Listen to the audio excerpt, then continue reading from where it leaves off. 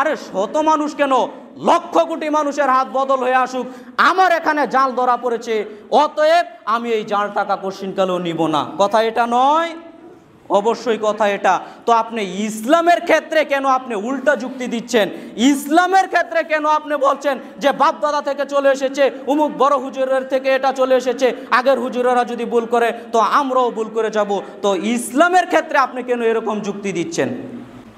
সমাজের মধ্যে আরও কিছু মানুষ আছে, তারা বাপ দাদার দোহাই দিয়ে এই বিদারটাকে টিকিয়ে রাখার চেষ্টা করে। সমাজের মধ্যে অনেক মুরব্বী, অনেক আরাম রয়েছেন, আবার আপনারা রাগ করিয়েন না, সবাইকে ডালাওভাবে বল- বলছি না। হয়তো বা কিছু মানুষের নীতি এরকম আছে, এজন্যই আমি কথাগুলো বলছি। কিছু মুরব্বী মানুষ বলে, আরে বাপ দাদারা বাপ দাদা থেকে এই আমল শুরু করে এসেছে, আরে আগের হুজুরেরা কি কম জানতো? তাহলে তারা এটা করে গেছেন কেন? প্রশ্ন আছে না নাই?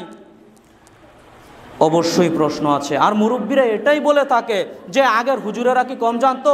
একটা কথা খুব ভালো করে মনে রাখবেন, আগের হুজুরেরা কম জানতো, এ কথা আমি বলতে আসিনি। আগের হুজুরেরা কম জানতো, এ কথা আমি বলতে আসিনি। বরং এখনকার আলেম থেকে আগের যুগে আরও বড় বড় আলেম ছিল, এ কথাই ঠিক। এখনকার আলেম থেকে আগের যুগে আরও বড় বড় আলেম ছিল, এ কথাই ঠিক। কিন্তু আপনাদের কাছে প্রশ্ন রাখতে চাই আগের যুগের আলেমেরা কি সব জানতো? সব জানতো না। তাদেরও ভুল হতে পারে, কিন্তু তারা ভুল করে গেছেন। এই ভুলটা তাদের দোহাই দিয়ে আপনিও এখন করে যাবেন। আল্লাহ কিন্তু আপনাকে ছেড়ে দিবেন না। আল্লাহ কিন্তু আপনাকে ছেড়ে দিবেন না। যেমন একটা উদাহরণ দিয়ে থাকি। আপনি বাজারে গেছেন, বাজার করতে এক হাজার টাকা দামের একটা নোট নিয়ে গেছেন। বাজার করার পরে পাঁচশো টাকার বাজার করেছেন। তো পাঁচশো টাকার যখন বাজার করেছেন, পাঁচশো টাকা দোকানদার আপনাকে ফেরত দিল। আপনি টাকাটা নিয়ে ঘষে দেখছেন, টাকাটা তো মনে হয় সুবিধার না, জাল টাকা হতে পারে। তো জাল টাকা আপনি ধরে ফেললেন, তো আপনি বলছেন, দোকানদার ভাই, এই টাকাটা আমি নিব না। তো দোকানদার ভাই যদি বলে, কথাটা ভালো করে বুঝতে হবে। দোকানদার ভাই যদি বলে, কেন নিবেন না? আমার হাতে আসার আগে আরও শত মানুষের হাত বদল হয়ে এসেছে। আপনি কেন নিবেন না? আপনার কাছে জবাব তখন কি আসবে? আরে শত মানুষ কেন? লক্ষ কোটি মানুষের হাত বদল হয়ে আসুক।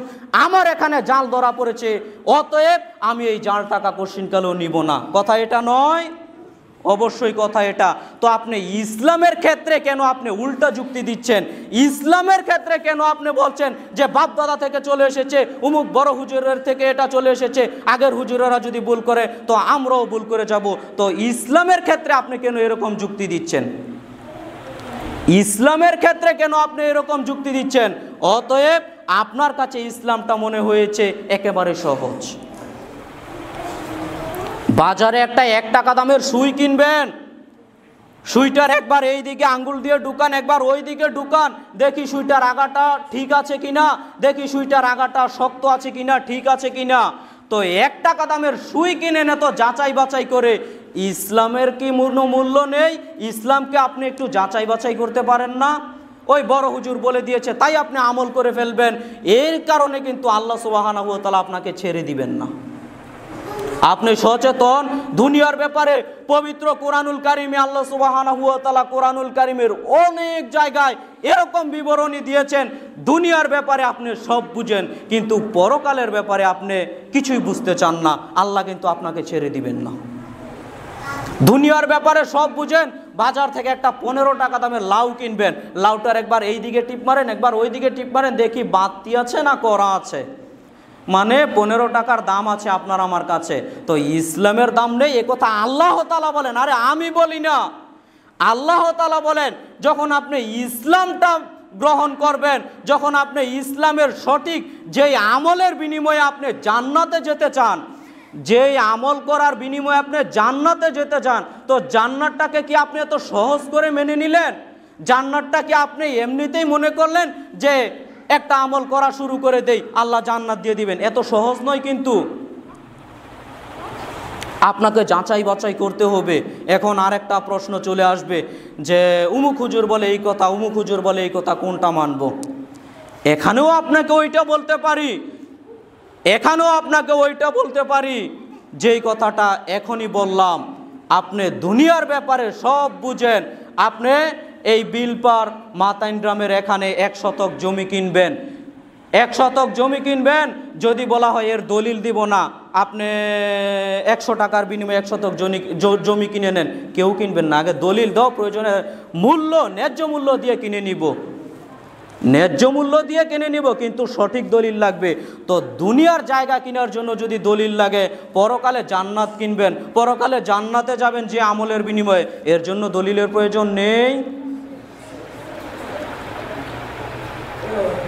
এখন আপনি একটানি জায়গা কিনবেন, আপনাকে একটা জাল দলিল দিল। আপনি কি মনে মনে বলবেন যে, ঠিক আছে, দলিল তো একটা পেলাম, ঘরের সুকেজের মধ্যে নিয়ে লটকিয়ে রাখি। এরকম বলবেন না, জাল দলিলটাই আরও জন মানুষ যারা বুঝে শুনে সমাজের মধ্যে লেখাপড়া জানে, দলিল সম্পর্কে যাদের আইডিয়া আছে, তাদেরকে নিয়ে দেখানোর চেষ্টা করবেন। দেখো দলিলটা ঠিক আছে কি না কী করবেন? আপনি যত মূর্খ মানুষই হন, ঘরের মধ্যে রেখে দিবেন না আরও দশজন মানুষকে দেখানোর চেষ্টা করবেন। তো ইসলামটাও আপনি এইভাবে পালন করতে হবে। আপনি যদি সচেতন না হন, তাহলে আপনি কিসের মুসলমান? ইসলাম সম্পর্কে আপনাকে জ্ঞান অর্জন করতে হবে। এ কারণেই তো রসুল সাল্লাহ আলি সাল্লাম বলছেন, তলাবুল ইলমে ফারিজাতুন আলাকুল্লি মুসলিম। প্রত্যেকটা মুসলমানের উপর ইসলামের জ্ঞান অন্বেষণ করা, শিক্ষা গ্রহণ করা ফরজ করে দিয়েছেন আল্লাহ তাআলা। ইসলামের জ্ঞান প্রত্যেকটা মানুষের জন্য অর্জন করা ফরজ করে দিয়েছেন আল্লাহ সুবাহানা হুয়া তাআলা। তো আপনি যদি এই মৌলিক জ্ঞানগুলো অর্জন না করেন, তো আপনি তো আল্লাহ সুবাহানা হুয়া তাআলার এই প্রথম কথা, তলাবুল ইলমে ফারিজাতুন আলা কুল্লি মুসলিম, প্রত্যেকটা পুরুষ ও নারীর উপর যে আল্লাহ তালা জ্ঞান ফরজ করে দিয়েছেন এলেম অর্জন করা ফরজ করে দিয়েছেন, তো আপনি তো ফরজ তরক করে আছেন। আপনি তো প্রথম ফরজটাই তরক করে আছেন।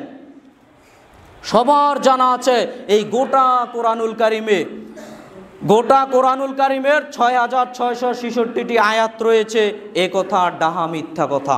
কোরআনুল কারিমের ছয় হাজার দুইশত ছত্রিশটি আয়াত রয়েছে, এ কথাই ঠিক। আপনি সন্দেহ যদি মনে করেন, তাহলে আজকে বাড়িতে গিয়ে কোরআনটা খুলে গণনা করে দেখবেন।